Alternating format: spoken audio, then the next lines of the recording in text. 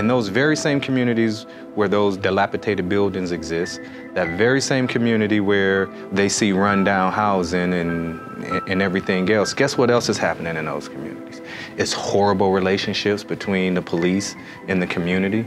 It's high incarceration rates, schools that are not educating kids, that don't have textbooks, that have teachers that are tired, uh, overcrowding classrooms, same thing right? The the infrastructures in those communities, they got streets with beat up potholes, they got lights that are that don't work half the time. It's the same community. So the lack of investment in uh, and a lot of times in that development, that stark difference that you see in downtown um, than in some of the neighborhoods that we're talking about. It's not even just the buildings.